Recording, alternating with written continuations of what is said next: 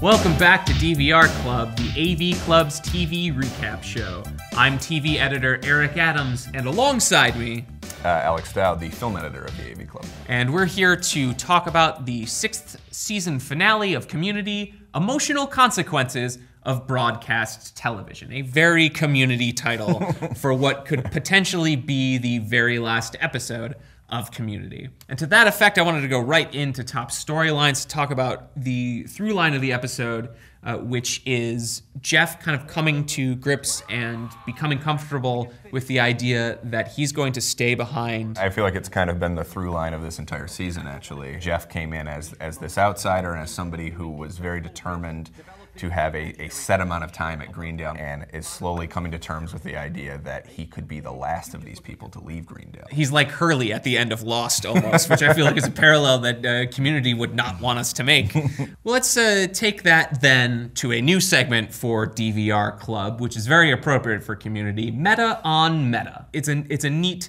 episode with a, a, a cool conceit where the characters sit around and they sort of talk about what the seventh season of their show would look like. Uh, Alex, how, how did you like that concept? Um, I wrestle with it a little bit. Uh, I, part of me wonders if that if, if, that's taking the meta-ness of this show over the line. But at the same time, I feel like that's kind of where this had to go, especially this season. Harmon has been grappling with uh, the legacy of his show since really, I would say, the second season. And at this point, if this is the series finale, I don't, I'm not sure I see a more appropriate place for it to go than the characters literally discussing the show they've been a part of. And that was a motif throughout all of season six was Abed talking about the show. And now in the end, it's a nice it's a nice concession to It's an acceptance. Yeah. I think that almost everybody sort of just gets on Abed's wavelength at the end of this show, which which again feels uh, very appropriate for a show that could be winding down. Six years. Six seasons, right, Abed? Don't put a nickel in him. Stop mitigating everyone.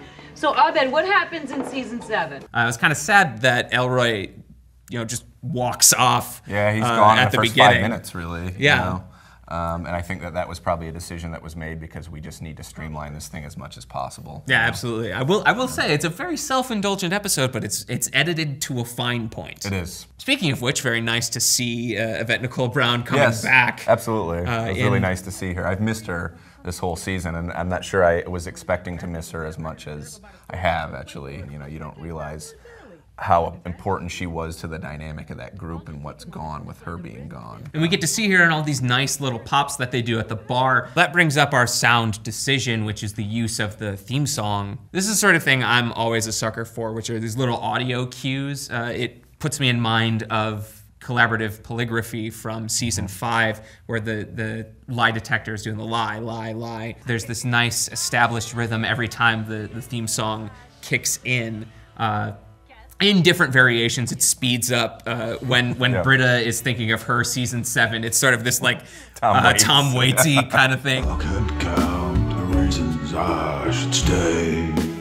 One by one, they all just fade away. It feels really generous to me too because if this is the final episode, and I'm, I'm sorry we keep coming back to that, but it, it really does feel like a series finale to me. Um, but if this is the final episode, it's almost like Harmon and uh, the rest of the team is like, this could be the last time you're going to hear this song in the context of new episodes. So we're going to give it to you 10 times. Let's move on into the next segment. Should they have kissed? One of the things that makes this feel so so final and and so so much of a conclusion is when Jeff and Annie share this kiss that has they've been building toward for the whole season in some ways. Uh, Alex, do you think they should have kissed?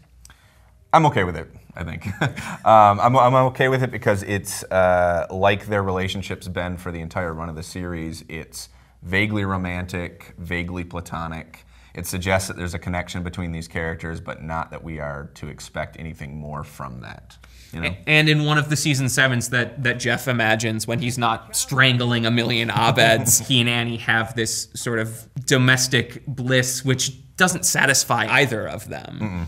So that's that's a really the audience. Yeah, or the audience. Yeah. Well, we've kind of devoted this entire episode to this topic, but I think it's time for speculation corner where we can kind of, you know, work out our feelings about how we would feel about another season of Community, or maybe even a movie. I this season in general, I think, has been very bumpy. Um, I think the the absence of key cast members has, more than anything else, has I think unbalanced the show in a lot of ways. Um, and with more cast members leaving, I can't see how it's possible that they can retain any of that energy. My nightmare is seeing something like the fantasy version that Jeff has in this, where it's Garrett and Todd and those characters sitting around the table, and this is our new study group, you know? And I think really the show itself is ready to end. There's there's so many classic series finale moments throughout Jeff going back to an empty study room, uh, the kiss that we mentioned,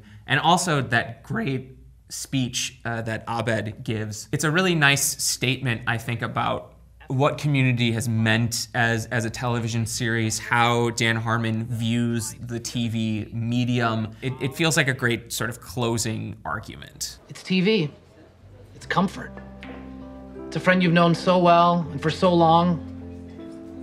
You just let it be with you. Well, community might not know if it's ending, but I know DVR Club is ending right now. Uh, thanks for watching. I've been Erik Adams. I'm Alex Dowd. Bye.